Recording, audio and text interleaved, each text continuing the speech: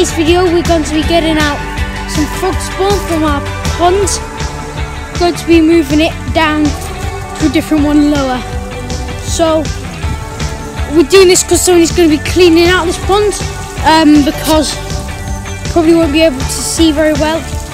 But um, you know, there's loads of duckweed on the floor and it's not looking very nice at the moment. So usually you shouldn't be taking frog spawn from one pond to another. But if you look at this one, you see it's all on a stream. So we're going to be moving it down to the bottom two, which is here and over there. So um, going to be doing that today, and you know, let's see how it turns out. All right, so the audio probably won't be so good as there's a trickling fountain, but we've got a clump of frog spawn there, which should be, you know, quite difficult to get up because it's reasonably far out. Got another clump underwater here, so the reflection's really bad. We've got another clump by those water lilies over there.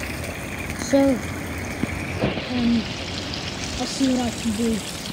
There's a clump here, um, into this bit. So we're going to be getting it into this bucket.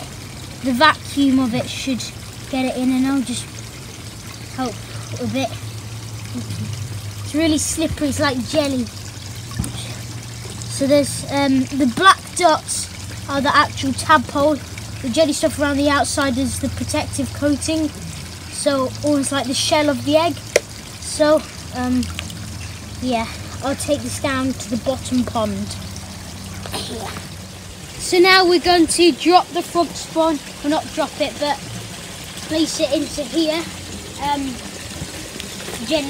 so it will sink to the bottom with some other bits down here and um, it should be normal from there. So I've just noticed that a lot of the garden is coming up.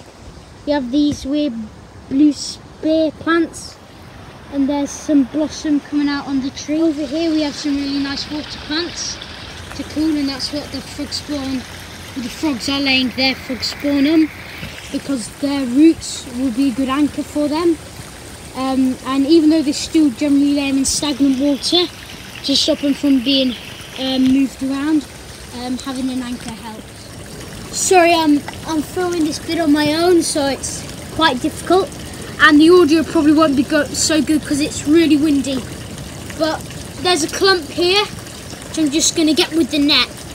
And, you know, um, I'm trying to pick it up slowly and as safely as I can, but, you know, only around three eggs in a clump will actually survive to adulthood anyway. So, um, you know, it's not a big thing.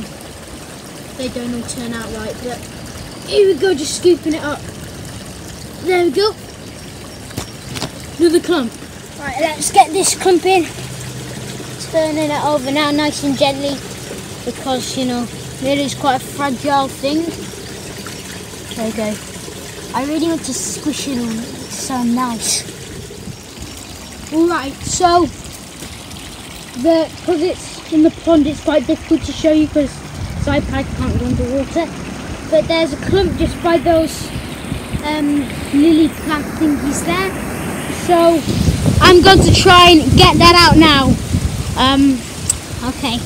So it's quite a challenge trying to safely getting it out and also getting good shots because obviously the priority is doing it safely.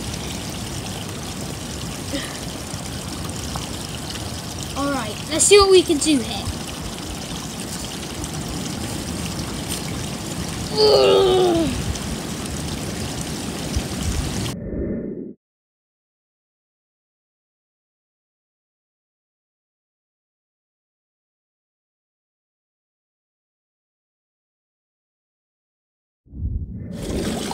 Okay, so this here is the last bit that we could get at the moment because I was doing the last string without filming because it was in quite a difficult place. But um, now there's been a whole load of silt stirred up And I know that there is some more, but I can't properly find it. So, yeah. But, um, good that we do a frog spawn because it means that the pond's got a really good ecosystem.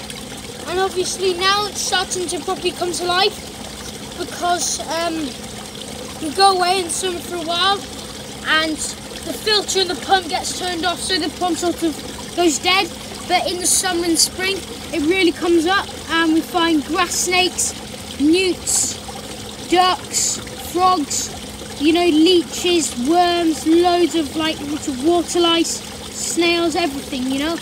So um, hopefully when that life becomes more abundant, we could do a video on pond dipping, which would be really cool. So, um, quickly, just a thing to say, never take frog spawn out of a pond and put it in the other one. First of all, because of the frog spawn safety, but you know, it, it would have died anyway up there when the guy cleaned it out, so at least it's got a chance in here. And also, this is the same body of water, it's going down stream. So if you move from different ponds to different ones, you're going to be spreading diseases and species which could mess up the ecosystem. So, you know, bear that in mind. And now it's time for the facts. Peace. Facts.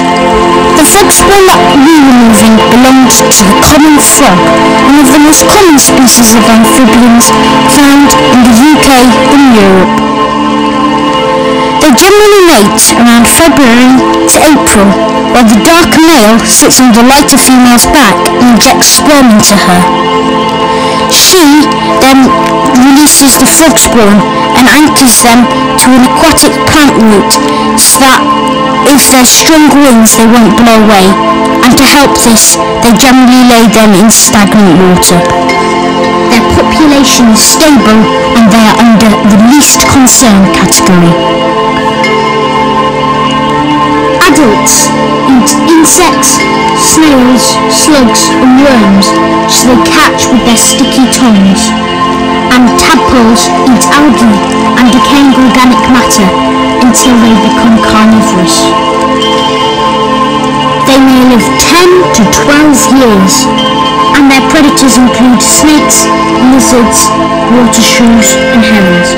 But remember, never move frog spawn from one pond to another or you may risk spreading diseases and invasive plants. Well, I hope you enjoyed this video and um, we only moved the frog spawn because somebody's going to be clearing out that pond and we can move it safely because it's the same body of water.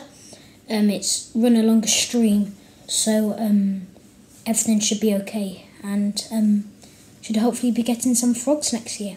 Bye!